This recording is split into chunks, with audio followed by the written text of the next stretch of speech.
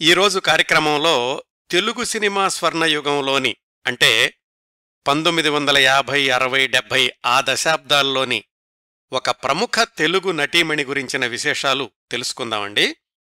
ఆమె అసలు పేరు పిళ్ళారిశెట్టి భక్తవత్సలం నాయుడు రాజీవలోచన. అంటే మీలో చాలామందికి తెలియకపోవచ్చునని నాకు తెలుసు. మనందరికీ తెలిసిన ఆ నటీమణే రాజసులోచన. అందం అభినయం నటన నాట్యం ఇన్నింటి మేలు కలయిక రాజసులోచన గారు. ముందుగా ఆమె సినీ వ్యక్తిగత జీవితాల గురించి విహంగ వీక్షణం లాంటి విశేషాలు తెలుసుకుని ఆ తర్వాత వివరాల్లోకి వెళదాం. రాజసులోచన గారి సినీ జీవితం సుమారుగా పంతొమ్మిది వందల యాభై ఒకటి నుంచి పంతొమ్మిది వందల తొంభై నాలుగు దాకా కొనసాగింది. ఆ నలభై మూడు సంవత్సరాల్లో దాదాపు రెండు వందల అరవై పైగా ఐదు భాషల చిత్రాల్లో నటించారు రాజసులోచన గారు. వైజయంతిమాల తిరువాన్కూర్ సోదరీమణులు లలిత పద్మిని రాగిణి వాళ్ళలాగా నాట్యకళలో అనుభవం సంపాదించాక సినీరంగ ప్రవేశం చేశారు. వాళ్ళలాగే సుమారుగా అదే సంవత్సరాల్లో నర్తకిగానే సినీరంగ ప్రవేశం చేశారు. వాళ్ళలాగానే కేవలం నృత్య ప్రదర్శనలకే పరిమితం కాకుండా కథానాయిక స్థాయికి కూడా ఎదిగారు. అయితే మిగతా వాళ్ళంతా సుదీర్ఘకాలం కథానాయికగా కొనసాగలేకపోయినా రాజసులోచన గారి నట జీవితంలో అనేక వైవిధ్యభరితమైన పాత్రలు లభించాయి అని చెప్పుకోవచ్చండి. ఆమె గురించిన ప్రస్తావన వచ్చినప్పుడు కొంతమంది విశ్లేషకులంటారు రాజసులోచన గారు కథానాయకుల పక్కన కథానాయికగా నటించారు కథానాయికల పక్కన కూడా కథానాయికగా నటించారు అని. అంటే హీరోల పక్కన హీరోయిన్ హీరోయిన్ పక్కన కూడా హీరోయిన్గా నటించారు. అంటే అర్థం ఏమిటంటే ఆమె మెయిన్ హీరోయిన్గా నటించారు సైడ్ హీరోయిన్గా కూడా నటించారు. ఎన్టీఆర్తో సొంత ఊరు పెంకి పెళ్ళాం వాల్మీకి రాజమొకటం ఇలాంటి సినిమాల్లోనూ అక్కినే నాగేశ్వరరావు గారితో ఇద్దరు మిత్రులు శాంతినివాసం ఇలాంటి సినిమాల్లోనూ కాంతారావు గారితో గుండెలు తీసిన మనగాడు ఖైదీ కన్నయ్య జగ్గయ్య గారితో రేపు నీదే భాగ్యదేవత ఇలాంటి చిత్రాల్లో నటించారు. హీరోయిన్గానూ ప్రధాన పాత్రల్లోనూ నటిస్తూ ఉన్న రోజుల్లోనే జయభేరి తోడికోడళ్ళు ఇలాంటి సినిమాల్లో వ్యాంప్ పాత్రలు మాంగల్య బలం లాంటి చిత్రాల్లో హాస్య పాత్రలు పాండవ వనవాసం లాంటి చిత్రాల్లో అతిథి పాత్రలు కూడా పోషించారు. నృత్యాల్లో కూడా శాస్త్రీయ నృత్యాలు చేశారు జానపద నృత్యాలు చేశారు పాశ్చాత్య నృత్యాలు చేశారు. మోసగాళ్ళకు మోసగాడు లాంటి ఒకటి రెండు సినిమాల్లో మోతాదు మించిన డాన్స్ సన్నివేశాల్లోనూ నటించారు. ఆ రోజుల్లో అతి కొద్ది మంది తెలుగు తారలకే దక్కినటువంటి అవకాశం.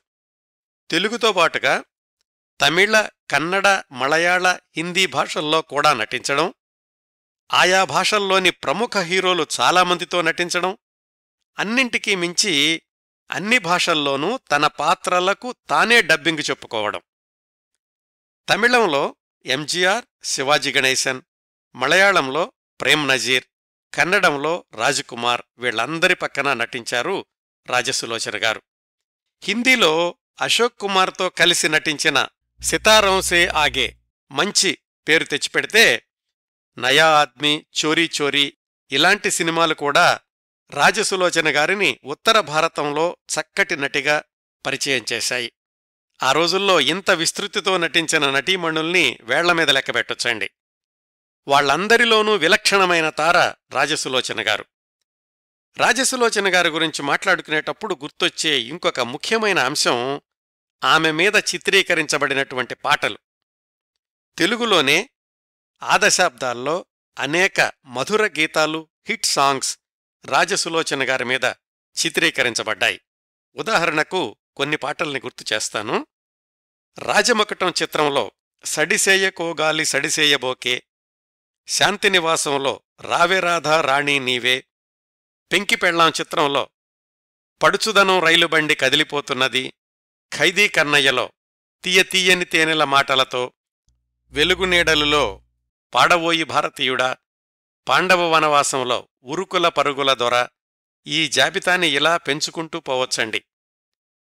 తీరికలేని సినీ జీవితంలో కొనసాగుతూ రంగస్థల నాట్య ప్రదర్శనల్ని కూడా క్రమం తప్పకుండా కొనసాగించిన అతి కొద్ది మంది సినీ నృత్య కళాకారుల్లో ఒకరు రాజసులోచన గారు. సినిమా హీరోయిన్గా నటిస్తున్న రోజుల్లోనే వివిధ నాట్య రీతుల్ని అభ్యసించడం రంగస్థల నాట్య ప్రదర్శనల ద్వారా వివిధ సంస్థలకు విరాళాల సేకరణలో సహాయం చేయడం ఇలాంటివన్నీ గమనిస్తే సినిమాల్లో ఎన్ని వైవిధ్యభరితమైన పాత్రలు పోషించారో నాట్యరంగంలో కూడా అన్ని వైవిధ్యభరితమైన ప్రయోగాలు చేశారు.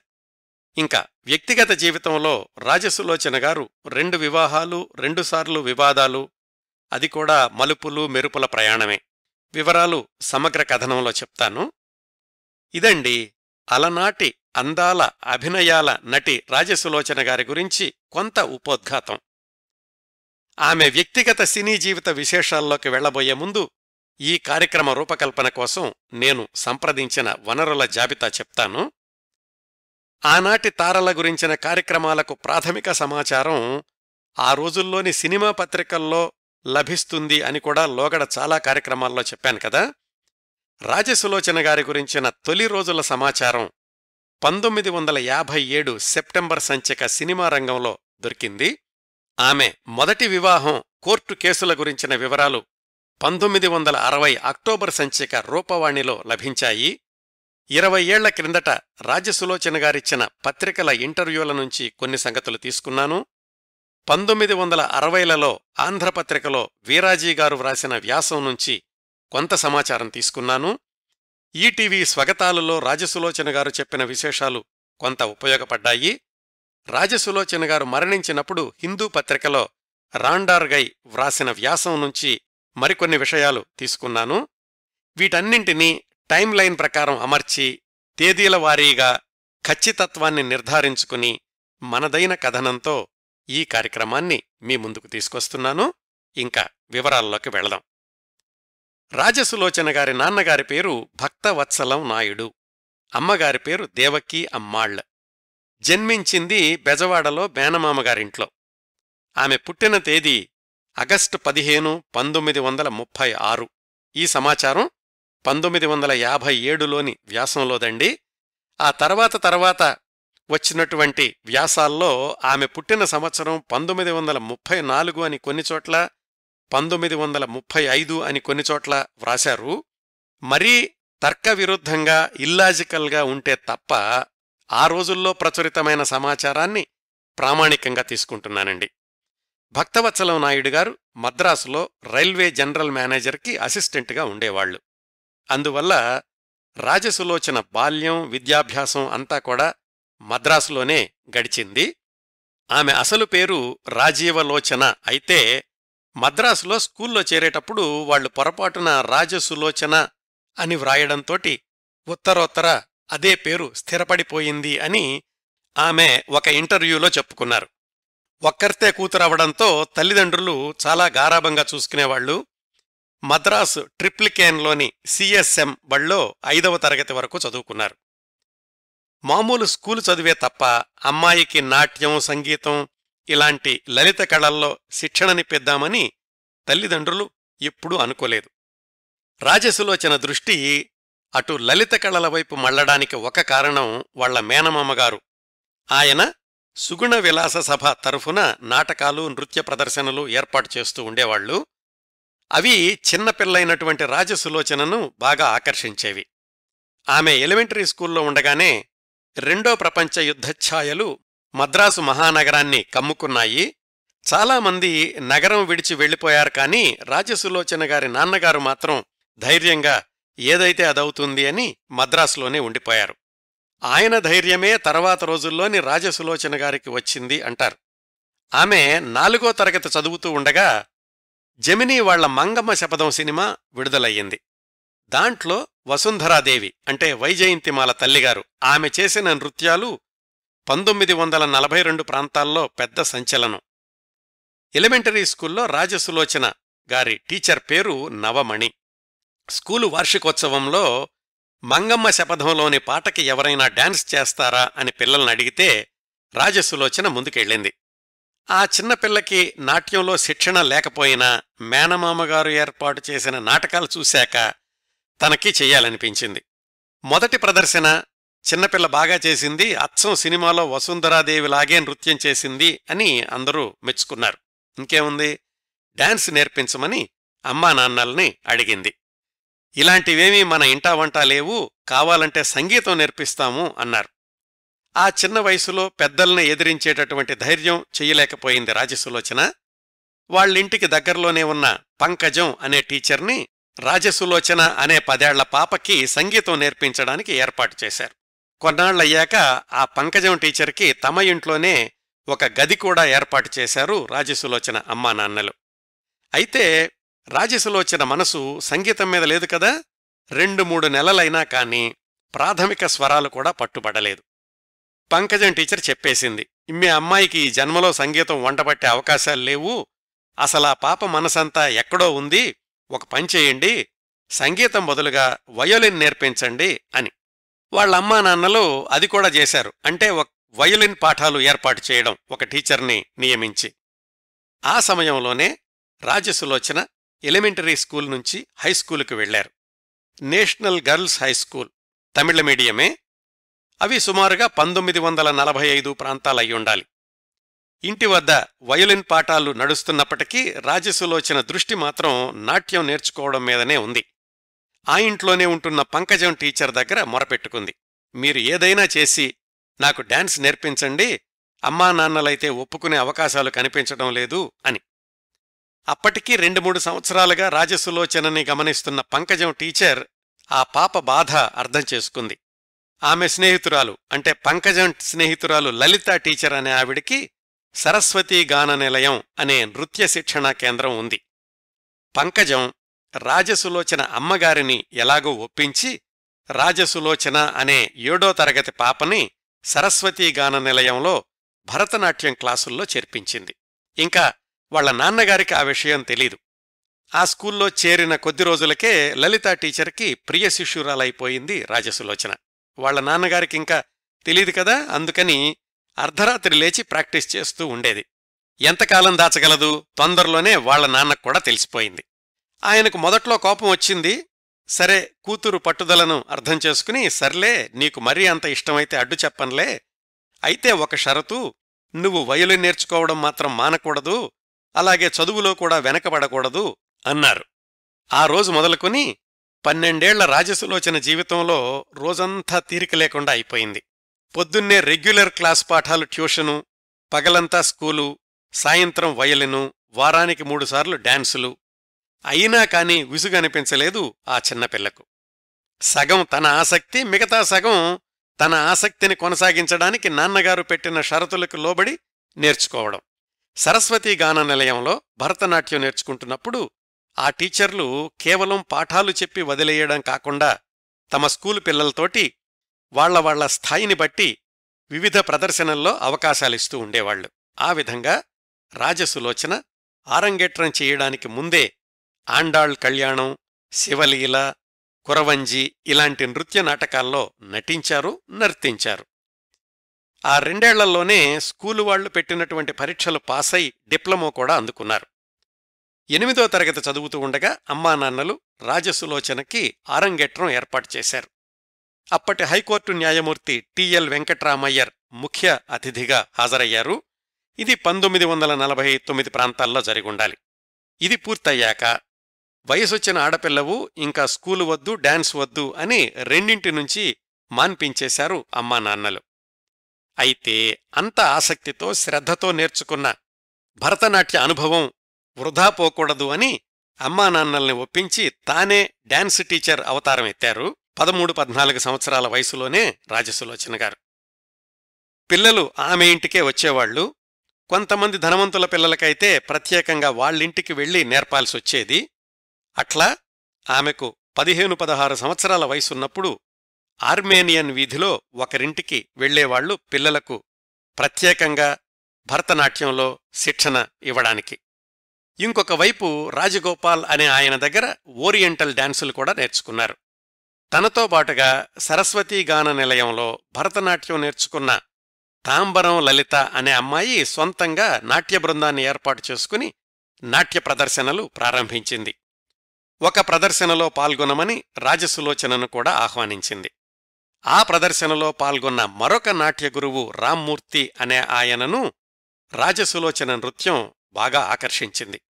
ఆయనకు అంటే ఆ రామ్మూర్తి గారికి సినిమా దర్శకుడు హెచ్ఎల్ఎన్ సిన్హాతో పరిచయం ఉంది అదే రోజుల్లో ప్రముఖ కన్నడ నటుడు గుబ్బి వీరన్న ఏవిఎం నిర్మాణ సంస్థతో కలిసి గుణసాగరి అనే సినిమాని కన్నడ తమిళ రెండు భాషల్లోనూ ఒకేసారి నిర్మించడానికి సన్నాహాలు చేస్తున్నారు.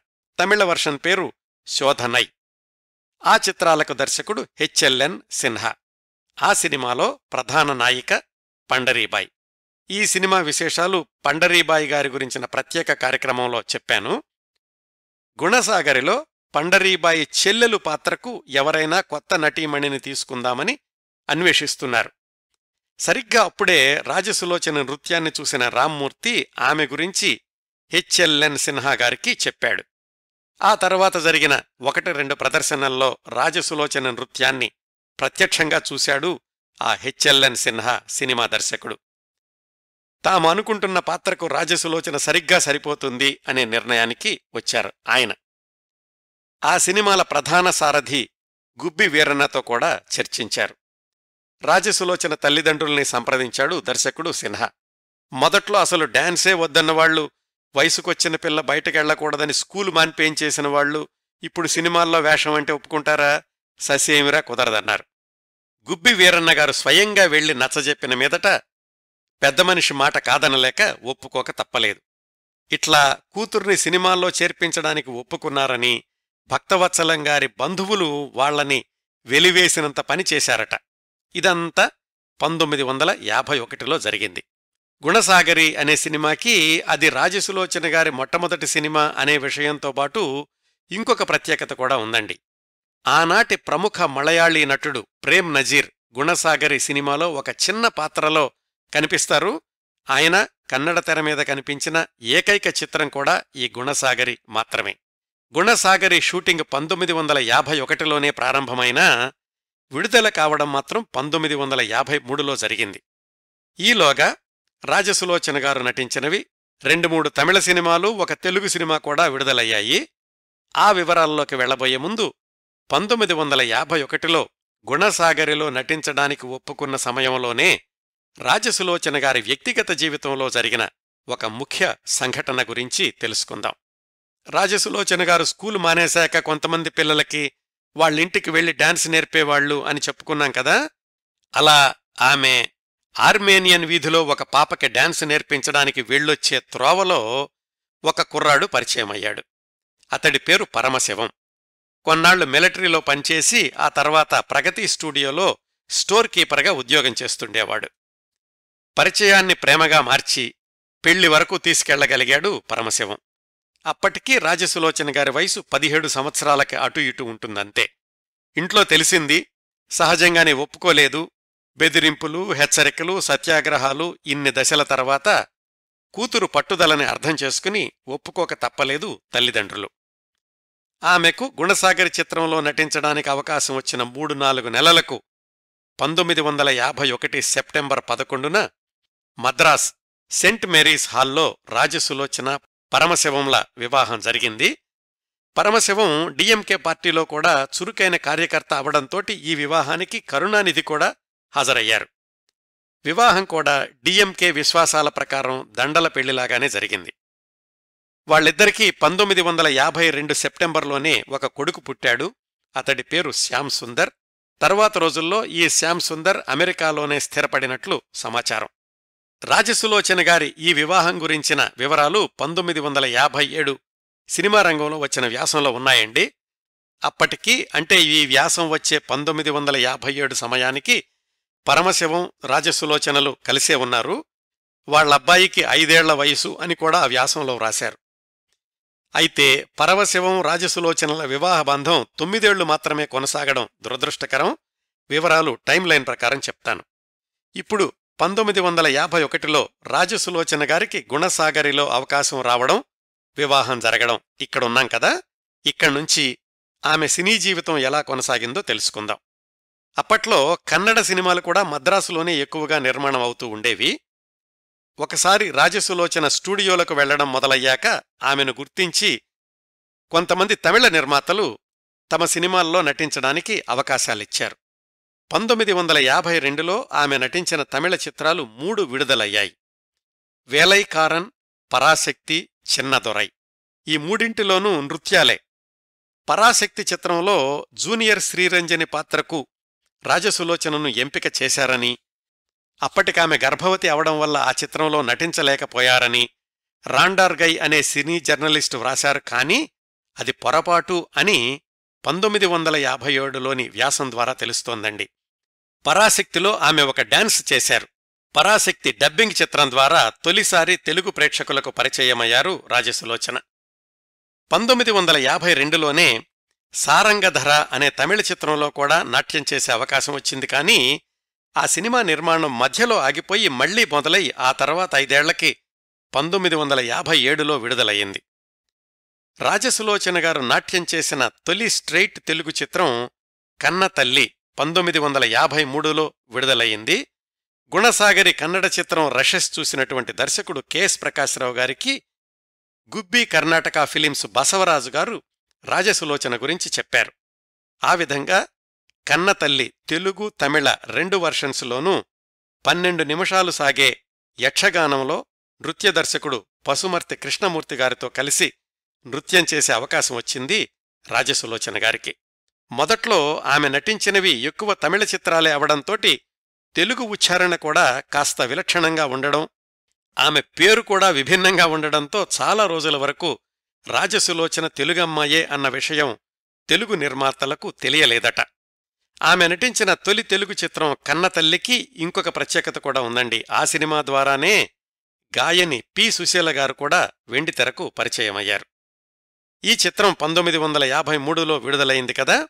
ఆ సంవత్సరమే ఆమె తొలిసారి నటించిన కన్నడ చిత్రం గుణసాగరి కూడా విడుదలయ్యింది. కన్నతల్లిలో యక్షగానంలో నృత్యం చేసిన రాజసులోచన గారికి పెద్దగా పేరు రాలేదు. ఆమెను నర్తకిగా తెలుగు ప్రేక్షకులు గుర్తుపెట్టుకున్నది ఆమెకు ఎక్కువగా అవకాశాలు తెచ్చిపెట్టింది అదే సంవత్సరం అంటే పంతొమ్మిది వందల యాభై మూడులోనే విడుదలైన పెంపుడు కొడుకు అనే చిత్రం. అందులో ఉన్నవారికే సుఖాలో రయ్యో రయ్యో అని శ్రీశ్రీ గారి పాటకు వీధి నృత్యం చేశారు రాజసులోచన. శ్రీశ్రీ గారు కూడా ఒకచోట వ్యాసంలో వ్రాసుకున్నారు. తాను వ్రాసిన పెంపుడు కొడుకులోని పాట ద్వారా రాజసులోచన నాట్యతార అయికూర్చుంది అని. కన్నతల్లి ప్రివ్యూ చూసిన తాపీ చాణక్య గారు అంతా మనవాళ్ళే తెలుగు సినిమాలో ఇంకొక డాన్స్ పాత్రని ఇచ్చారు. ఆ రోజుల్లో పద్మిని రాగిణి లలిత వాళ్ళ తర్వాత కుచల కుమారి రేటా అనే మరొక ఇద్దరు కేవలం నృత్యాలకే పరిమితమైన నర్తకీమణులుండేవాళ్ళు సరిగ్గా ఆ సమయంలోనే రాజసులోచన గారికి కూడా నృత్య ప్రధానమైన పాత్రలు లభించాయి.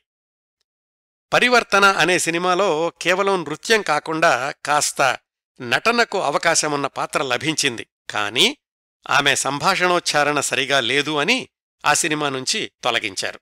ఆ తర్వాత ఆ పాత్రలో సురభి బాలసరస్వతి గారు నటించారు.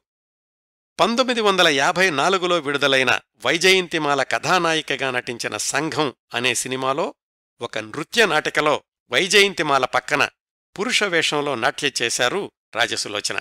ఇవేమీ పెద్దగా పేరు తెచ్చిపెట్టిన పాత్రలేమీ కావు. రాజసులోచన గారికి కాస్త పేరు తెచ్చిపెట్టిన చిత్రం పంతొమ్మిది వందల యాభై నాలుగులోనే విడుదలైన డాక్టర్ రాజ్ కుమార్ మొదటి చిత్రం కాళహస్తి మహత్యం. దాన్లో చింతామణి పాత్రలో నటించారు రాజసులోచన. ప్రచార ప్రకటనల్లో కూడా ఆమె పేరు ప్రముఖంగా కనిపిస్తుంది. ఇలాగా మొదటి నాలుగైదు సంవత్సరాలు ఎక్కువగా నృత్యాలకే పరిమితమైన రాజసులోచన గారు మొట్టమొదటిసారి కథానాయికగా నటించిన తమిళ చిత్రం ఎల్లాం ఇన్బమయం. అది పంతొమ్మిది వందల యాభై ఐదులో విడుదలయింది తిరువాన్కూరు సోదరీమణుల్లో ఒకరైన రాగిణితో కలిసి మరొక హీరోయిన్గా నటించారు రాజసులోచన. అయితే ఆమె పూర్తిస్థాయి కథానాయికగా నటించిన తొలి తెలుగు చిత్రం గాయకుడు ఘంటసాల గారు నిర్మించిన సొంత ఊరు అనే సినిమా. హీరో ఎన్టీ రామారావు గారు. అది నిర్మాణంలో ఉండగానే పెంకిపెళ్ళాం అనే సినిమాలో కూడా ఎన్టీఆర్ గారి పక్కనే హీరోయిన్గా నటించే అవకాశం వచ్చింది. అట్లా రాజసులోచన హీరోయిన్గా నటించిన మొదటి రెండు తెలుగు సినిమాల్లోనూ ఎన్టీ రామారావు గారే హీరో. ఆ రెండూ కూడా పంతొమ్మిది వందల యాభై ఆరులోనే విడుదలయ్యాయి. ఆ సినిమాల్లో రాజసులోచన మాట్లాడిన తెలుగు విని నిజంగా ఈమె తెలుగావిడేనా అని చాలామందికి అనుమానం వచ్చిందట. ఆ మధ్యలోనే తమిళ హాస్యనటుడు ఎన్ఎస్ కృష్ణన్ బృందం ప్రదర్శించిన మనత్తూడు వాళ్ళు ఓం అనే రంగస్థల నాటకంలో తరచూ పాల్గొంటూ ఉండేవాళ్ళు రాజసులోచన గారు. పంతొమ్మిది వందల యాభై దశాబ్దం చివరకొచ్చేసరికి పెద్ద హీరోయిన్ కాకపోయినా తీరికలేని నటీమణి అయ్యారు రాజసులోచన. ఆర్థికంగా కూడా మంచి స్థాయికొచ్చారు. పంతొమ్మిది వందల యాభై ఏడులోని వ్యాసంలో ఆమె ఆర్థిక స్థితి గురించి ఇలా రాశారు. ఈమెకు ప్రస్తుతం కళ్ళు మిరుమిట్లు గొలిపే పెద్ద కారు ఉంది. మాంబళంలో ఒక చక్కటి భవనం కూడా ఉంది. విశ్రాంతి సమయాలలో ఈమె భర్తతో కారులో షికారుకు వెళుతూ ఉంటుంది. కారు నడపడం అంటే ఈమెకు సరదా. ఇవండి రాజసులోచన గారు చిత్రరంగ ప్రవేశం చేసిన తొలి దశాబ్దపు విశేషాలు. ఇట్లా సినిమాల్లో వేగం ఒక స్థాయిలో స్థిరపడ్డాక రాజసులోచన గారి దృష్టి ఇతర నాట్య రీతుల మీదకు మళ్ళింది. చిన్నతనంలో నేర్చుకుంది భరతనాట్యం అని తెలుసుకున్నాం కదా పంతొమ్మిది వందల యాభై ఏడులో తోడికోడళ్ళు సినిమా శతదినోత్సవానికి బెజవాడ వెళ్ళినప్పుడు ఆ వేదిక మీద ఇతర కళాకారులు ప్రదర్శించిన కూచిపూడి నాట్యం చూసి తన్మయత్వం పొందాను అని ఆమె ఒక ఇంటర్వ్యూలో చెప్పుకున్నారు. అంతకు ముందే వేదాంతం సత్యనారాయణ శర్మ గారి భామాకలాపం కూడా ఆమె మీద బలమైన ముద్ర వేసింది. ఆ ప్రభావంతో సిఆర్ ఆచార్యులు వెంపటి చినసత్యం గార్ల దగ్గర కూచిపూడి నాట్యంలో ప్రావీణ్యత సంపాదించారు. తరువాతి సంవత్సరాల్లో కథాకళి కథక్ నృత్యాల్లో కూడా వివిధ శైలుల్ని అభ్యసించారు.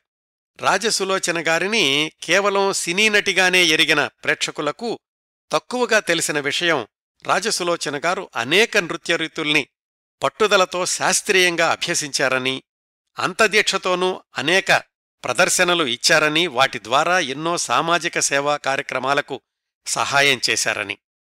వివరాలు కథాక్రమంలో తెలుసుకుందాం.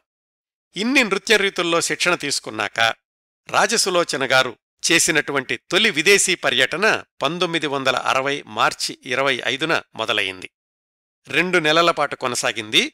ముందుగా జపాన్లో తన నృత్య ప్రదర్శనలివ్వడమే కాకుండా వాళ్ళ నృత్య రీతుల్ని కూడా అభ్యసించారు.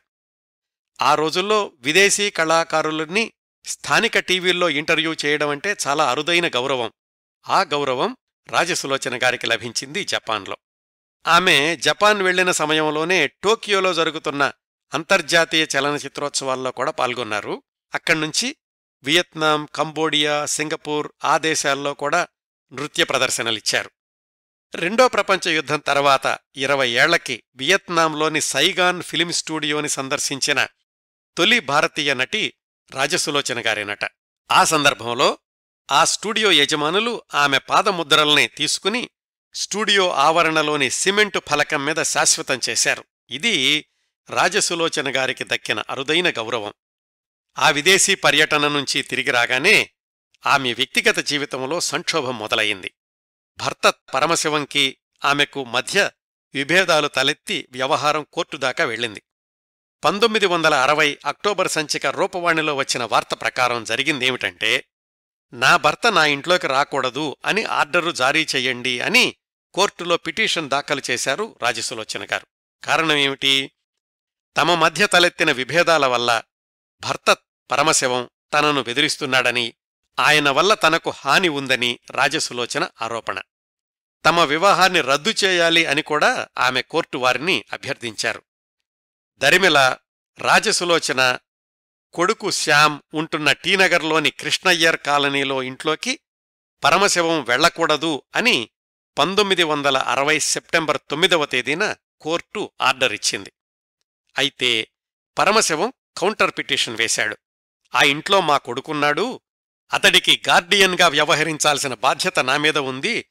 ఇప్పుడు నా మీద విధించబడిన ఆంక్షలు మా దాంపత్యానికి విఘాతం కలిగిస్తున్నాయి అని. అయితే రాజసులోచన ఆ ఇల్లు నా సొంతం. ఇంట్లోకి భర్తనైనా సరే రావద్దనే హక్కు నాకుంది అని వాదించడంతోటి కోర్టు పరమశివం కౌంటర్ని కొట్టేస్తూ వాళ్ళిద్దరూ ఒకే ఇంట్లో ఉంటే పరిస్థితులు విషమించవచ్చు. అంచేత పరమశివంపై విధించబడిన నిషేధాజ్ఞలను కొనసాగిస్తున్నాము అని తీర్పు ఇచ్చారు. ఈ వివాదం నలిగి నలిగి చివరకు ఇద్దరూ చట్టబద్ధంగా విడాకులు తీసుకున్నారు. కొడుకు శ్యామ్ సుందర్ రాజసులోచన గారితోనే ఉండిపోయాడు. ఈ వివాదాలు నలుగుతున్న సమయంలోనే రాజసులోచన సిఎస్ రావు గారి దర్శకత్వంలో శాంతినివాసం చిత్రంలో నటిస్తున్నారు. వాళ్ళిద్దరి మధ్య చనువు పెరిగి ప్రేమగా మారింది. ఒకరోజు సిఎస్ రావు గారే రాజసులోచన గారి వద్ద వివాహ ప్రసక్తి తీసుకొచ్చారట. అప్పటికీ రాజసులోచన గారైతే పరమశివంతో విడాకులు తీసుకున్నారు కానీ సిఎస్ రావు గారు అప్పటికి ఇద్దరు బిడ్డల తండ్రి. ఆయన భార్య ప్రముఖ నటి కన్నాంబగారి పెంపుడు కూతురు రాజేశ్వరి. రాజసులోచన గారు సందిగ్ధతలో పడ్డారు.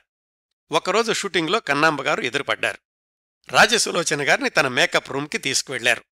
తనను చెడామడా తిట్టేస్తారనుకున్నారు రాజసులోచన గారు. కాని ఆశ్చర్యకరంగా కన్నాంబ గారు అమ్మాయి విషయం తెలిసింది. అబ్బాయి నువ్వే కావాలంటున్నాడు. మా అమ్మాయికి అతడితో కాపురం కొనసాగించే అదృష్టం లేదు. మరే సంకోచమూ లేకుండా మీరిద్దరూ వివాహం చేసుకోండి అన్నారట. ఇన్ని పరిణామాల తర్వాత రాజసులోచన గారు దర్శకుడు సిఎస్ రావు గారిని పంతొమ్మిది వందల అరవై మూడు మేలో గురువాయూర్ దేవాలయంలో వివాహం చేసుకున్నారు. ఆ తర్వాత సంవత్సరానికే కన్నాంబ గారు చనిపోయారు. అది వేరే కథ అనుకోండి. తర్వాత రోజుల్లో సిఎస్ రావు గారికి రాజసులోచన గారికి దేవి శ్రీ అని ఇద్దరు కవల ఆడపిల్లలు జన్మించారు. ప్రస్తుతం వాళ్ళల్లో ఒకళ్ళు అమెరికాలోనూ మరొకరు చెన్నైలోనూ స్థిరపడినట్లు నా వద్దనున్న సమాచారం. అయితే ఈ వివాహం జరిగిన ముప్పై సంవత్సరాల తర్వాత మళ్ళీ రాజసులోచన సిఎస్ రావు గార్ల మధ్య విభేదాలొచ్చి సిఎస్ రావు గారు విడిగా ఉండాల్సి రావడం అదొక విషాద ఘట్టం. వివరాలు టైం లైన్ వరుస ప్రకారం తెలుసుకుందాం. మళ్ళీ రాజసులోచన గారి సినీ జీవితం విషయానికొస్తే పంతొమ్మిది వందల అరవై దశాబ్దం మొదట్లోనే రాజసులోచన గారు హీరోయిన్గా నటించిన సినిమాలు అరడజను పైగా విడుదలయ్యాయి. తెలుగు తమిళం అన్నీ కలుపుకుని. వాటిల్లో కొన్ని శాంతినివాసం ఇద్దరు మిత్రులు ఖైదీ కన్నయ్య చిట్టి తమ్ముడు టైగర్ రాముడు పొన్ని తిరుమాళ్ సంగిలితేవాన్ మొదలైనవి. పంతొమ్మిది వందల అరవై రెండులో విడుదలైన కవిత అనే తమిళ చిత్రంలో ద్విపాత్రాభినయం చేసే అవకాశం కూడా వచ్చింది రాజసులోచన గారికి. ఆ కాలంలోని మిగతా హీరోయిన్లతో పోలిస్తే రాజసులోచన గారు హీరోయిన్గా నటించిన సినిమాల సంఖ్య తక్కువే అని చెప్పుకోవాలి. ఒకవైపు హీరోయిన్గా నటిస్తూనే కొన్ని సినిమాల్లో కేవలం నృత్యాలకు చిన్న చిన్న పాత్రలకు కూడా అంగీకరిస్తూ ఉండేవాళ్ళు టైం లైన్లో మరికొంచెం ముందుకెళితే పంతొమ్మిది వందల అరవై ఎనిమిదిలో విడుదలయింది సావిత్రిగారి దర్శకత్వంలో అత్యధిక శాతం మహిళా సాంకేతిక నిపుణులే రూపొందించిన చిత్రం చిన్నారి పాపలు. ఆ చిత్రానికి నృత్య దర్శకత్వం చేసింది రాజసులోచన గారే. బహుశా తెలుగు చలనచిత్ర చరిత్రలో మొట్టమొదటి మహిళా నృత్య దర్శకురాలు రాజసులోచన గారే అయ్యుండాలి అయితే తర్వాత ఇంకా ఏ సినిమాకి కూడా ఆమె నృత్య దర్శకత్వం చెయ్యలేదు. రంగస్థల నృత్య ప్రదర్శనలిస్తున్న నాకు ఆ రోజుల్లో మూడు నాలుగు నిమిషాల పాటలకు నృత్య దర్శకత్వం చెయ్యడం అంటే సంతృప్తికరంగా అనిపించలేదు. అందుకే ఆ తర్వాత ఇద్దరు ముగ్గురు దర్శకులు అడిగినా కానీ నేను అంగీకరించలేదు అని ఆమె ఒక ఇంటర్వ్యూలో చెప్పుకున్నారు. సినీ జీవితం ఇలా కొనసాగుతూ ఉండగా పంతొమ్మిది వందల అరవై దశాబ్దంలో రంగస్థల నృత్య ప్రదర్శనల సంఖ్య కూడా పెంచారు. వాటిల్లో కొత్త ప్రయోగాలు కూడా చేశారు రాజసులోచన గారు. పంతొమ్మిది వందల అరవై ఒకటిలో పుష్పాంజలి అనే పేరుతోటి నృత్య కళా కేంద్రాన్ని కూడా ప్రారంభించారు రాజసులోచన గారు. దాదాపు నలభై సంవత్సరాలు విజయవంతంగా కొనసాగింది ఆ సంస్థ. దాని తరఫున నృత్య శిక్షణ రంగస్థల నృత్య ప్రదర్శనలు ముమ్మరంగా కొనసాగించారు ఆ సంవత్సరాల్లోనే. పంతొమ్మిది వందల అరవై ఒకటి అరవై రెండులలో అర్ధనారీశ్వర నృత్య నాటికను రాజసులోచన గారు సొంతంగా రూపొందించి పలుచోట్ల ప్రదర్శనలిచ్చారు. పంతొమ్మిది వందల అరవై మూడులో పద్మావతి శ్రీనివాస కళ్యాణం అనే నృత్య నాటికను తమిళంలో ఉడుమలై నారాయణ కవిగారితోనూ తెలుగులో సముద్రాల జూనియర్ గారితోనూ వ్రాయించి సొంత నృత్య దర్శకత్వంలో తన పుష్పాంజలి నృత్య సంస్థ విద్యార్థినులతో కలిసి అనేక ప్రదర్శనలిచ్చారు. ఆ రోజుల్లో అంత వరుసగా రంగస్థల నాట్య ప్రదర్శనలిచ్చిన సినీ నటీమణుల్లో రాజసులోచన గారిని మొదటి వరుసలో చూడాలండి. పంతొమ్మిది వందల డెబ్భైలో దాదాపు సంవత్సరం పాటు అమెరికాలో పర్యటించి తను నాట్య ప్రదర్శనలివ్వడంతో పాటు కొన్ని నగరాల్లో నృత్య శిక్షణా శిబిరాల్ని కూడా నిర్వహించారు. అవన్నీ మిగుంచుకుని మద్రాసు చేరుకున్నాక పంతొమ్మిది వందల డెబ్భై చివర్లో ఆమె సినీ జీవితంలో ఒక విచిత్రమైన స్థితి చోటు చేసుకుంది. ఒకటి రెండు సినిమాల్లో జ్యోతిలక్ష్మి గారితో పోటీపడ్డారా అన్నట్లుగా క్లబ్ డాన్స్ లాంటి నృత్యాలు కూడా చేశారు. అందులో మొదటిది హీరో కృష్ణ గారి మోసగాళ్ళకు మోసగాడు. చాలామంది ఆ సినిమాలో రాజసులోచన గారి డాన్సు వస్త్రధారణ చూసి ఆశ్చర్యపోయారు. పవిత్రంగా శాస్త్రీయ నృత్యాలు చేసిన రాజసులోచన గారేనా ఈ డాన్స్ చేస్తోంది అని. ఆమె ఒక ఇంటర్వ్యూలో చెప్పుకున్నారు. హీరాలాల్ గారి దర్శకత్వంలో డాన్స్ సాంగ్ అంటే ఒప్పుకున్నాను. అయితే సెట్స్కి వెళ్ళాక గాని అలాంటి డ్రెస్ వేసుకోవాలన్న విషయం తెలియలేదు. కాల్షీట్ వృధా చేయడం ఇష్టం లేక ఒప్పుకున్నాను అని. ఈ సందర్భంలోనే ఇంకొక విశేషం చెప్తాను. మోసగాళ్ళకు మోసగాడు చిత్రాన్ని ట్రెజర్ హంట్ అనే పేరుతోటి ఆంగ్లంలోకి అనువాదం చేసినప్పుడు మిగతా పాటలన్నింటినీ తీసేశారట గాని రాజసులోచన గారు చేసిన ఈ డాన్స్ పాటని మాత్రం అలాగే ఉంచేశారట. మరొక చిత్రంలో కూడా అలాంటి నృత్యం చేశారు కానీ ఆ బ్రాండ్ వేయించుకోకుండా తొందరలోనే మళ్ళీ మామూలు పాత్రల్లోనూ విభిన్న తరహా పాత్రల్లోనూ కొనసాగారు. ఆ క్రమంలో ఆమె నట జీవితంలో ఇంకొక మలుపు దాసర నారాయణరావు గారి తొలి చిత్రం తాతా మనవడు. అందులో సత్యనారాయణ గారి భార్యగా యవ్వనం నుంచి వయసు మీరిన దశ వరకు కొనసాగే పాత్రలో నటించారు రాజసులోచన గారు. వయసు మళ్ళిన పాత్రలో నటించడం ఆమెకు అదే మొదటిసారి. అక్కడ్నుంచి అత్తగారు జమీందారిణి ఇలాంటి పాత్రల్లో కొనసాగారు పంతొమ్మిది వందల ఎనభై దశాబ్దం వచ్చేసరికి. ఇంకొక వైపు తన నృత్య సంస్థ పుష్పాంజలి తరఫున జాతీయ రక్షణ నిధి కోసం ఆంధ్రప్రదేశ్ ఒరిస్సా రాష్ట్రాల్లో దాదాపు డెబ్బై ఐదు ప్రదర్శనలిచ్చి సుమారు పది లక్షల రూపాయలు నిధులు సేకరించి ప్రభుత్వానికిచ్చారు ఆ రోజుల్లోనే. ఇంకా Kakinada girls school Kesari high school Hanumantharaya గ్రంథాలయం ఇలాంటి సంస్థల సహాయార్థం కూడా నృత్య ప్రదర్శనలిచ్చారు. కరువు పరిస్థితులు నెలకొన్నప్పుడు వరదలొచ్చినప్పుడు జరిగేటటువంటి స్టార్ నైట్స్లో అయితే రాజసులోచన గారి నృత్య ప్రదర్శన అనేది తప్పనిసరిగా ఉండేది. పంతొమ్మిది వందల ఎనభై నాలుగులో ఆమెకు తమిళనాడు ప్రభుత్వం కలైమామణి పురస్కారాన్నిచ్చింది. పంతొమ్మిది వందల ఎనభై నుంచే రాజసులోచన గారు నటించిన సినిమాల సంఖ్య తగ్గుతూ వచ్చింది. తెలుగులో ఆమె నటించిన చివరి చిత్రం సురేష్ ప్రొడక్షన్స్ తోడికోడళ్ళు పంతొమ్మిది వందల తొంభై నాలుగులో విడుదలయ్యింది. తమిళంలో ఆమె నటించిన చివరి చిత్రం టి. రాజేందర్ నిర్మాణంలోని యంగవీట్టు వేలన్ పంతొమ్మిది వందల తొంభై రెండులో విడుదలయింది అప్పటికీ రాజసులోచన గారి సినీ జీవిత ప్రయాణం ప్రారంభమై నలభై సంవత్సరాలు దాటింది. ఈ చిత్రాల తర్వాత ఆమె పూర్తిగా పుష్పాంజలి సంస్థ నృత్య కార్యక్రమాలకే అంకితమైపోయారు. అప్పటికీ ఆమె వయసు అరవై సంవత్సరాలు. రాజసులోచన గారి భర్త సిఎస్ రావు గారు రెండు వేల నాలుగు డిసెంబర్లో చనిపోయారు. అప్పటి వరకు బయటకు రాని కొన్ని వార్తలు సిఎస్ రావు గారు మరణించినప్పుడు ఒక్కసారిగా గుప్పుమన్నాయి నిజానిజాలు ఎంతో ఖచ్చితంగా చెప్పలేం కాని అప్పట్లో వచ్చిన వార్తలేమిటంటే సిఎస్ రావు గారు తన చివరి పది సంవత్సరాలు టీనగర్లోని ఒక చిన్న అద్దె ఇంట్లో ఉన్నారని ఆయనకు బోధకాలు వ్యాధి సోకడం వల్ల చాలా ఇబ్బందులు పడుతూ ఉండేవాళ్ళని అప్పుడప్పుడు చిన్నమ్మాయి దేవి వెళ్ళి చూసొస్తూ ఉండేదని ఒకరోజు ఆయన స్పృహ కోల్పోయిన స్థితిలో ఉంటే కుమార్తె ఆయన్ని ఆరంబాకంలోని వృద్ధాశ్రమంలో చేర్పించారని. ఎందుకలా అయింది భార్యాభర్తల మధ్య వివాదాలు ఎందుకొచ్చాయి అనే అంశంలో రాజసులోచన గారు తన వైపు నుంచి వివరణ ఇస్తూ ఆమె కూడా ఆ రోజుల్లో పత్రికా ప్రకటన ఇచ్చారు. నిజానిజాలు వాళ్ళకే తెలియాలి. ఏదేమైనా ఎంతో వైభవంగా జీవించి ఎన్నో విజయవంతమైన చిత్రాలకు దర్శకత్వం వహించిన సిఎస్ రావు గారి చివరి రోజులు అలా గడవడం దురదృష్టకరం. రాజసులోచన గారి గురించిన సమాచారాన్ని సేకరించే క్రమంలో ఆమెను రెండు వేల తొమ్మిదిలో ఇంటర్వ్యూ చేసిన ఒక జర్నలిస్టుని సంప్రదించాను. ఆయనేం చెప్పారంటే వ్యక్తిగత విషయాలు అడగను అనే షరతు మీదనే నాకు ఇంటర్వ్యూ ఇచ్చారు. అయితే నేను ఈ ఇంటర్వ్యూ కోసం ప్రత్యేకంగా హైదరాబాదు నుంచి మద్రాసు వచ్చినందుకు మాత్రం రాజసులోచన గారు చాలా ఆనందించారు. అందరూ నన్ను మర్చిపోయారు అనుకుంటున్న సమయంలో నా కోసం వెతుక్కుంటూ వచ్చిన మీకు ధన్యవాదాలు అని కూడా అన్నారు అని. రెండు వేల పదమూడో సంవత్సరం వచ్చేసరికి వృద్ధాప్యపు సమస్యలు మొదలయ్యాయి. రెండు వేల పదమూడు మార్చిలో రాజసులోచన గారిని కిడ్నీ వ్యాధి చికిత్స కోసమని కామాక్షి ఆసుపత్రిలో చేర్పించారు ఆమె కుమార్తె దేవి. చికిత్స జరుగుతూ ఉండగానే రెండు వేల పదమూడు మార్చి ఐదవ తేదీ రాత్రి గుండెపోటు రావడంతో తన డెబ్బై ఎనిమిది సంవత్సరాల వయసులో కన్నుమూశారు నటి నర్తకి రాజసులోచన గారు.